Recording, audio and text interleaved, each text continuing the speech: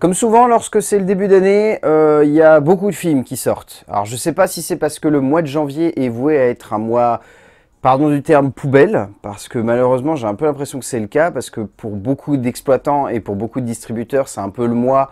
où il y a soit vraiment des très gros événements, soit il doit y avoir rien du tout. Genre là, heureusement qu'on a eu des films comme Babylone, parce que bah, sinon le mois de janvier était assez terne, et clairement les films qui sont sortis n'ont pas fait un carton. Mais donc du coup, on a quand même pas mal de choses à rattraper, donc ne perdons pas plus de temps et passons en revue les quelques films que l'on a loupés durant le mois de janvier 2023.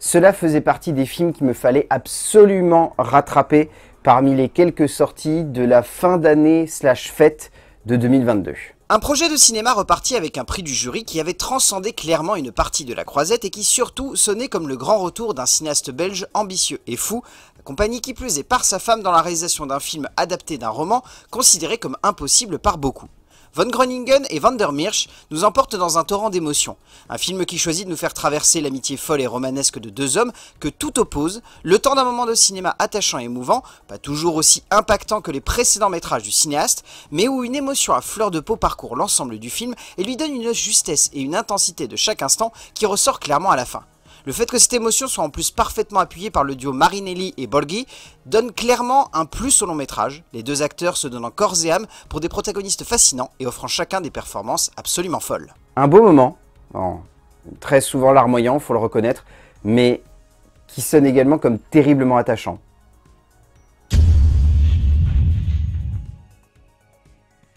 Il est souvent difficile de parfaitement mettre en forme la vie d'un artiste, surtout sur une toile de cinéma, et surtout quand on a à peu près une vague idée de ce qu'il a vécu. Car si l'on connaît les grandes lignes de la vie de Michelangelo Merezzi, dit le Caravage, on sait finalement peu de tout ce qui entoure à la fois sa vie intime et ses secrets les plus cachés, mais également ce qui a fait qu'à l'aune du XVIIe siècle, cet homme si populaire faillit croupir dans une prison avant finalement de mourir de manière sombre et mystérieuse. Michele Placido, cinéaste surprenant dans ses choix souvent opposés et vagues au cœur d'une filmographie étendue, nous offre ici une plongée surprenante et intense dans le travail du peintre italien, mais également au cœur d'un univers unique que le metteur en scène souhaite mettre en forme avec autant d'énergie que l'artiste, mais en y incorporant aussi la décadence et la folie de la période, donnant lieu à une œuvre mêlant différents genres avec autant de justesse que de maladresse. Mais les interprètes sont tous à tomber par terre, notamment l'excellent Riccardo Scamarizio, juste exceptionnel dans le rôle principal, l'acteur apportant énormément d'énergie au personnage du Caravage. Un film surprenant, intense, maladroit certes, mais assez fort.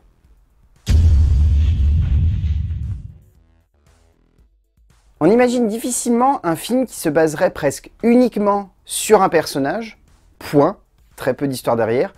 et qui réussirait parfaitement à avancer. Et pourtant, on imagine difficilement un film qui n'est pas un personnage principal assez fort pour tenir une narration de bout en bout, et parfois on peut avoir une surprise face à un film comprenant assez bien son héros pour réussir à mettre facilement en place une structure et un développement suffisants pour construire une histoire avec ce simple personnage. Mario Martone a ainsi choisi d'aller dans cette direction en construisant le parcours de rédemption d'un Italien émigré revenant dans sa ville natale pour à la fois se rapprocher de sa mère mais surtout pour chercher à comprendre et à mesurer les raisons qui l'ont obligé à partir de celle-ci pour une œuvre émouvante, assez attachante de par sa structure et sa construction autour de l'émotion générée autour du personnage mais qui peut-être sonne comme un peu trop lent et un peu trop mou pour totalement passionner de bout en bout. Mais s'il y a une chose que l'on ne peut remettre en question, c'est la présence charismatique et folle de Pier Francesco Favino, monumental en tête d'affiche d'un métrage qu'il porte à merveille sur ses épaules et qui l'emmène loin par sa performance. Un beau film, long,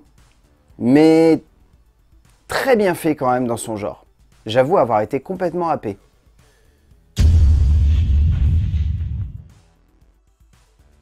Il est parfois difficile de prendre une histoire qui est clairement connue de tous et d'essayer, au fur et à mesure de l'avancée du long métrage, de lui donner une nouvelle forme. Et dans le genre histoire connue de tous, celle-là tout le monde la connaît. Celle d'un jeune homme et d'une jeune femme opposés par leur famille et ici par la société, qui vont tenter tout de même de s'aimer et d'avancer ensemble, même si on sait très bien que leur destin sera tragique et aussi violent que leur amour est passionnel.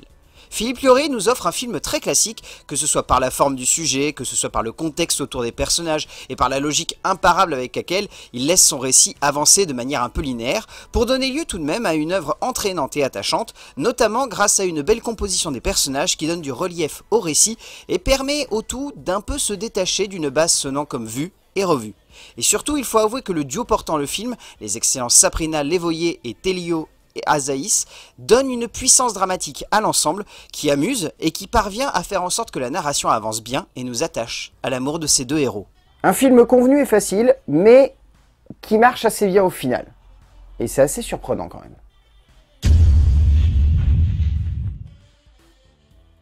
Les vieux polars, genre à mi-chemin entre le drame historique et le policier, peuvent souvent donner lieu à des choses très intéressantes si les films en question sont maîtrisés et créatifs. Et sur le papier, on est exactement dans ce genre de petite surprise avec le nouveau long métrage d'un cinéaste américain qui s'est imposé depuis quelques années comme un auteur immanquable, un cinéaste créatif, mais surtout cherchant à explorer des genres très différents pour nous proposer des choses assez neuves. Scott Cooper nous offre donc une enquête mystérieuse dans les États-Unis de la guerre civile pour un moment de cinéma particulièrement intense, mais qui sonne comme un peu plus classique dans la forme du récit qu'à son habitude. Pour un film haletant et dont l'ambiance noire fortement inspirée par le travail d'Edgar Allan Poe, en même temps le romancier et dans le récit, donne un ton et une atmosphère absolument folle à cette aventure. Saluons également les excellentes prestations de Christian Bale, comme à son habitude magnifiquement possédé par le personnage et totalement dans le récit, mais surtout la divine prestation de Harry Melling, juste hallucinant dans le rôle de Poe, l'acteur non seulement métamorphosé, mais également totalement dans la peau du jeune romancier et poète. Au fond, c'est un bon polar à l'ancienne, extrêmement classique, mais très efficace.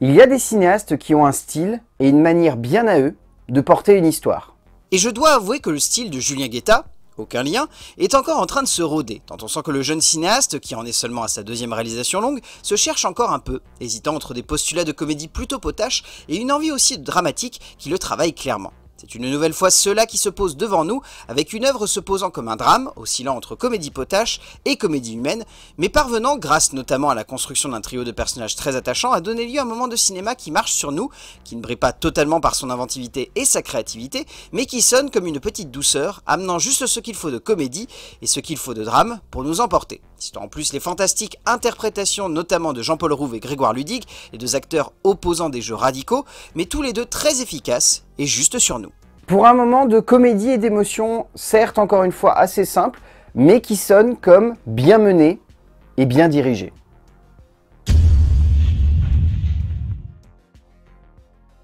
J'aime profondément le cinéma d'horreur, mais celui-là,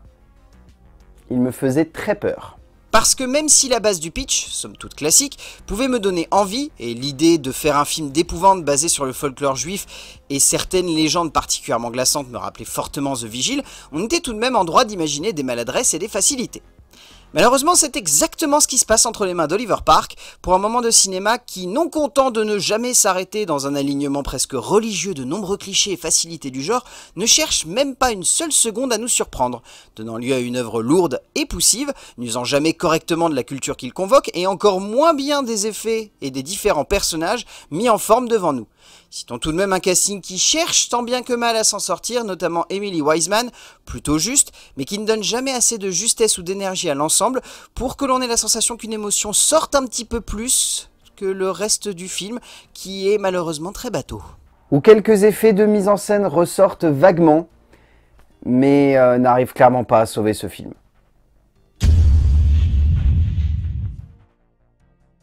Amuser le spectateur, mais également réussir à bien le toucher avec une bonne émotion bien dosée, c'est pas un talent donné à tous. Et Dieu sait que pourtant, au cœur du cinéma français, de très nombreux auteurs cherchent à faire constamment cela, avec plus ou moins de finesse et surtout plus ou moins de beauté, pour donner lieu à quelques films surprenants de temps en temps, mais où l'on a rarement la sensation que quelque chose se passe. Marc Fitoussi, bien connu des films de potes et d'amis en tout genre, nous emporte dans les retrouvailles déjantées et folles de deux amis de collège pour une œuvre qui fonctionne bien, mais dont on ressort avec la forte et intense impression d'avoir déjà vu cela mille fois. Sans grand étonnement ou sensation de créativité, pour un tout nous embarquant avec une logique imparable au cœur d'une aventure émouvante, mais où l'on a la forte sensation que tout cela est très convenu. Et si encore une fois la fantastique présence de leur calami galvanise le film, c'est avant tout la fantastique Olivia Cott qui ressort par le biais d'une prestation tout en retenue et en nuance, donnant lieu à un moment de comédie et d'émotion qui fonctionne très bien. Pour un film très convenu, mais qui dans sa petite catégorie de film d'émotion avec des potes, s'en sort avec les honneurs.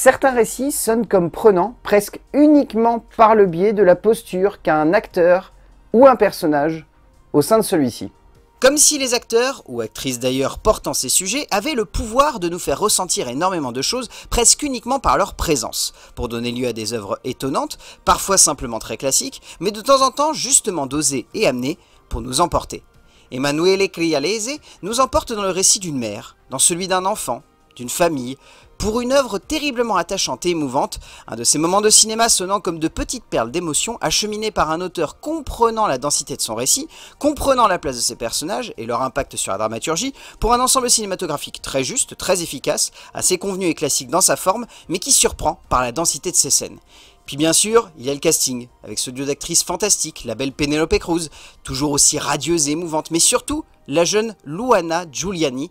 renversante de beauté et d'intensité, tout du long d'un film où elle est une révélation en puissance. Un beau moment de cinéma, certes assez simple dans ses effets et dans sa mise en scène, mais qui possède ce petit quelque chose d'attrayant qui réussit à nous emporter jusqu'à sa fin.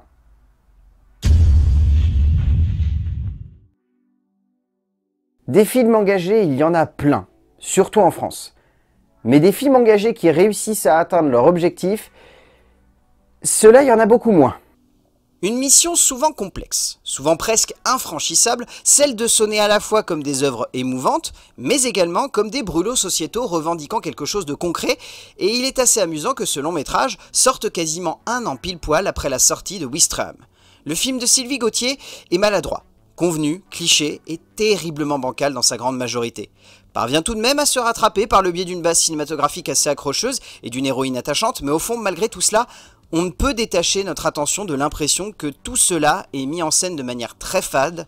euh, avec un investissement minimum de la part de l'auteur, qui ne semble pas vraiment savoir quel objectif donner à son film. Cela reste joliment porté par un casting qui se tient, même si Célie Salette, immense actrice, délivre clairement une performance mineure ici, la jeune femme ne faisant pas plus que cela ressortir une héroïne certes attachante, mais qui manque de relief. Un film beaucoup trop classique du coup au bout du compte, et qui surtout manque beaucoup de punch et d'énergie.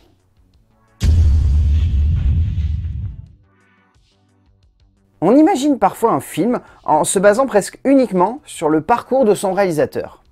Et dans le genre, Yann Samuel a une carrière assez atypique, sonnant comme l'homme derrière les films qui auraient pu être de véritables succès s'il n'était pas tombé au mauvais moment. L'exemple le plus probant restant sa guerre des boutons, sorti la même année que celui de Christophe Baratier et qui n'a jamais retrouvé le succès. Il revient ici avec une adaptation d'une bande dessinée culte pour un moment de cinéma qui fonctionne extrêmement bien et qui donne surtout lieu à un moment de cinéma assez prenant, qui manque peut-être un peu de créativité, tant on a la sensation que tout cela est un peu cousu de fil blanc, mais qui reste une petite épopée entraînante et pleine de tendresse, mais dont la fin sonne comme un énorme coup de couteau dans le dos, tant elle arrive vite, mal, et surtout qu'elle laisse un petit goût de maladresse profonde en bouche. Il faut tout de même saluer cette bande de jeunes acteurs et actrices, tous plus talentueux les uns que les autres, portant à merveille le métrage, même si par moments leurs prestations ont un peu de mal à donner lieu à une vraie alchimie de groupe. Mais à la fin, cela fonctionne, et je dois avouer m'être pleinement épris de cette petite bande de personnages extrêmement attachants.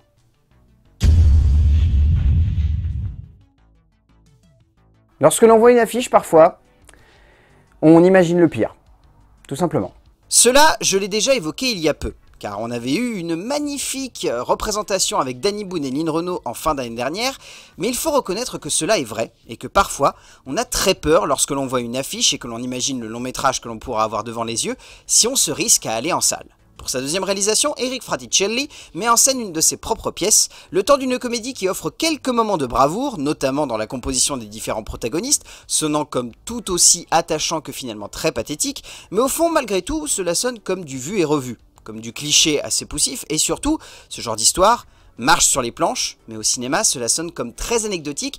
et vite oubliable dans son genre, et heureusement pour nous. Ressort tout de même du lot ce quatuor d'acteurs assez jubilatoire et fun, offrant quelques petits moments de gloire, Corti et Bracchini, offrant de très belles performances décalées et amusantes, mais au fond, cela reste très simple, même s'ils sont efficaces. Donc un bon petit plaisir, mais malheureusement qui s'oubliera très vite, j'en suis tout à fait sûr.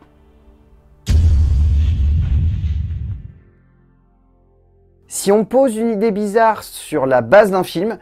le spectateur ne va garder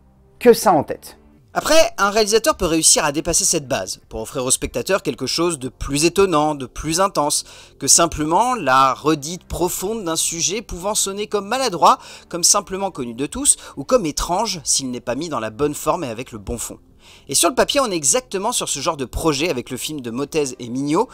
un projet emmené par une envie d'épique et de grandiose, sonnant un poil comme opportuniste, avec la sortie prochaine des Trois Mousquetaires, mais sonnant tout de même comme une belle possibilité de cinéma qui graphiquement reste intéressante,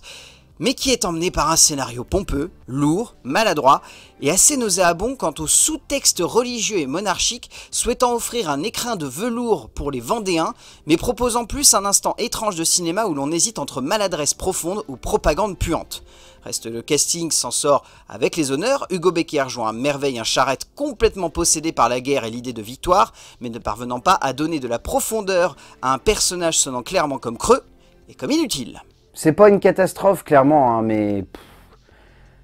c'est juste à côté de la plaque en fait.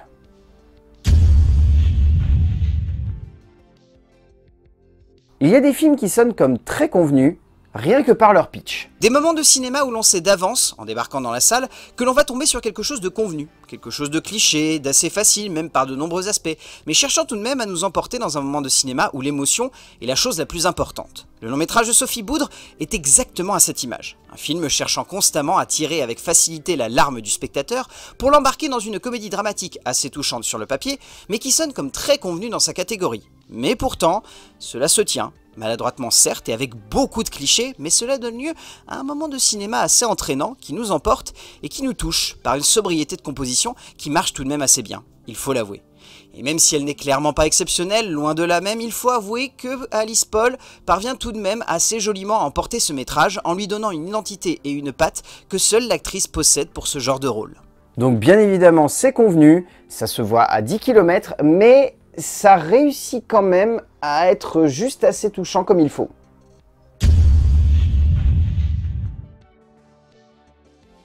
S'il y a bien un studio d'animation qui me plaît un petit peu plus que les autres en France, c'est bien le studio toulousain TAT. C'est un studio toulousain particulièrement créatif qui ne cesse de me surprendre à chacune de ses productions, dans le sens où si pour certains cela reste de l'animation à considérer plutôt pour un jeune public, je ne peux m'empêcher, en tant que cinéphile et spectateur assidu, d'aller voir les projets offerts par ce studio. Leur nouveau film dirigé par David Allo avec les frères Totsi, comme souvent, est une pure perle dans son genre. Une comédie d'aventure absolument délicieuse emportée par un esprit espiègle et une forme cinématographique assez géniale, parvenant une nouvelle fois à surprendre par l'investissement en termes de genre et en termes de style, et proposant bien sûr un moment de cinéma aussi amusant que particulièrement soigné dans son récit. Soulignons au passage le travail absolument parfait d'un casting vocal toujours emmené par les mêmes voix, qui me plaisent toujours autant dans les films d'animation, à savoir une Casey Chase juste parfaite, mais surtout un Christophe Lemoine juste génial et un Emmanuel Curtil toujours aussi fun. Un génial moment qui marche bien évidemment pour les petits, mais selon moi aussi comme pour les grands.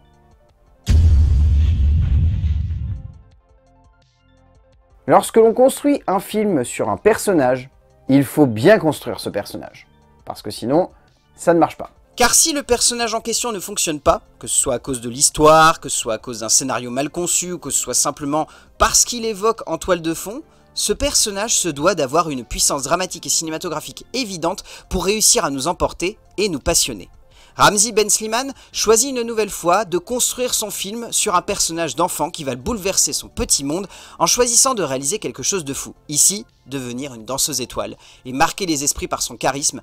et ce qui semble être un talent évident. Mais au prix de la construction d'une héroïne difficilement appréciable pour le spectateur, la faute à une trop grande puissance de caractère qui ne permet pas pleinement au spectateur de comprendre cette jeune fille, même si la mise en scène la met joliment en avant. Et que surtout, la performance de la jeune Oumi Bruni Garel pose cette jeune actrice dans une top liste des talents à suivre absolument, tant la jeune femme impose une prestation tout en folie, en bonheur et en justesse de caractère. Elle est fantastique. Mais dommage que le film n'arrive pas à suivre son talent malheureusement.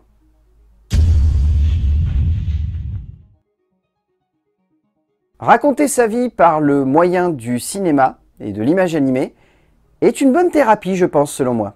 Et nombre de réalisateurs se sont déjà essayés à l'exercice en se servant du cinéma comme porte ouverte vers leur manière de comprendre leur vie, de comprendre le monde et leur impact dessus, et surtout de cerner à quel point parfois cela fait du bien de prendre du recul sur soi en utilisant le spectateur comme thérapeute. Alain Huguetto nous propose cela avec un film d'animation réellement immersif dans le sens où le spectateur est constamment convoqué dans ce moment où l'auteur parle ouvertement à un personnage représentant sa mère et retraçant leur cheminement des montagnes enneigées d'Italie jusqu'à la France dans laquelle il a grandi et connu la guerre pour une œuvre émouvante, attachante, magnifique visuellement par le biais de cette animation toute sobre et toute belle qui donne un cachet évident à ce métrage. Et notons que la grande majorité du temps, c'est la voix douce et assez attachante d'Ughetto lui-même qui emmène son aventure, accompagnée avec justesse par Ariane Ascaride, juste magnifique dans le rôle d'une mère plus qu'attachante. Un moment de cinéma merveilleux, rare,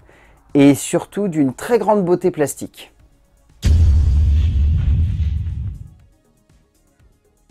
Explorer ses origines, comme je viens de l'évoquer d'ailleurs, est une bonne manière pour un auteur de parler à tous. Un auteur qui chercherait non seulement à parler de lui, mais également, de manière plus large, d'explorer une certaine manière de voir le monde, de le comprendre, d'en assumer la base, pour essayer d'avancer par la suite sans trop regarder en arrière, de peur de ne pas y voir ce que l'on attendait. Chou nous offre le portrait d'une jeune coréenne adoptée toute petite par des Français qui, par un concours de circonstances, va se retrouver à partir en Corée et va choisir d'explorer ses origines pour un moment de cinéma assez étonnant dans le fond et la forme, un film qui cherche tout aussi bien à sonner comme une profonde plongée dans la culture coréenne qu'une session thérapeutique sur les origines et les affres qu'elles peuvent causer sur le présent. Mais au fond, malgré ses maladresses dans l'acheminement de ses thématiques principales, l'émotion est là et elle touche magnifiquement le spectateur. Et cela on le doit également à la performance saisissante de Park Jimin, la jeune femme imposant une prestation tout en retenue et en finesse, pour un moment d'émotion que l'actrice emporte à merveille dans la meilleure direction possible. Un film bouleversant et efficace, malgré peu de subtilité quand même, malheureusement c'est à souligner. Ça y est, on reprend un rythme bien soutenu. Après quelques rattrapages où c'était un petit peu plus léger, là je sens qu'on est déjà sur une bonne longueur. On doit avoir dépassé les 20 minutes si je me plante pas. Euh, j'espère que vous êtes encore là. Si ça n'est pas le cas, ben, dommage. Si c'est le cas, eh ben, bravo, vous avez réussi ce voyage avec moi. Je pense que le mois de février sera tout aussi chargé. Donc euh, bah, d'ici là, je vous dis au mois prochain. Et n'oubliez pas, ce n'est pas parce que l'on ne parle pas de ces films qu'ils sont forcément mauvais.